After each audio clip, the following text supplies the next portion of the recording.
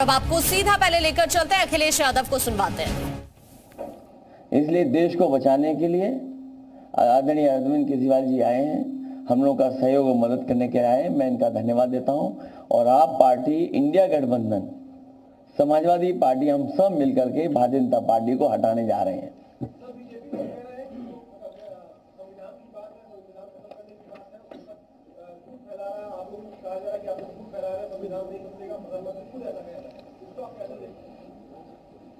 उनकी कौन सी बात सच निकलेगी? अभी आ- अभी आपसे कहा कि पचहत्तर साल वाला जो वो है। रूल नियम। उसको तो फॉलो किया जाएगा ना? इसी से पता लग जाएगा। और जो और एक मिनट एक मिनट।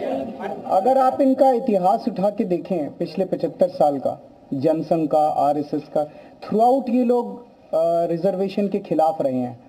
तो अब 400 सीटें लाके ये संविधान बदल के उस रिजर्वेशन को खत्म करना चाहते हैं। अरविंद जी अरविंद जी अरविंद जी स्वाति मालीवाल के मामले में अभी तक आप कुछ बोले नहीं है। आपकी से आपके साथ में स्वाति मालीवाल के मामले में अभी तक अरे उससे ज़्यादा ज़रूरी और चीज़ें भी हैं। स्वाति मालीवाल के कागज़ हम निकाल लिए। अरविंद जी आज आपके साथ में वो है।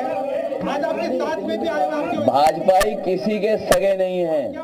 स्वाति मालीवाल के मामले में क्या बोलेंगे आप? यह है कि भाजपाई किसी के सगे नहीं है।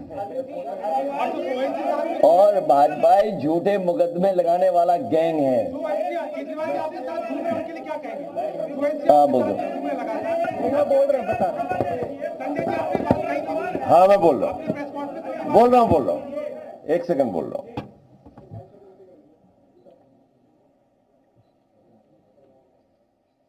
सब लोग पूरा देश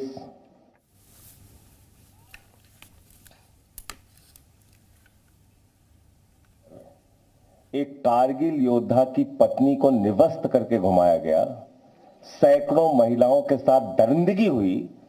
भारत के प्रधानमंत्री खामोश रहते हैं। हज़ारों महिलाओं के साथ प्रज्वल रवन्ना ने बलात्कार किया, दरिंदगी की, माँ की उम्र की महिलाओं के साथ।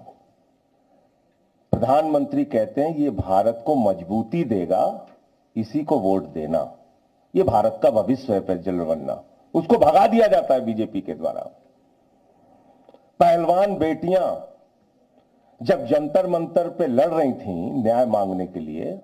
तो ये संयुक्त तौर पर प्रेस कॉन्फ्रेंस इस वक्त की जा रही है, आम आदमी पार्टी और समाजवादी पार्टी की तरफ़ से।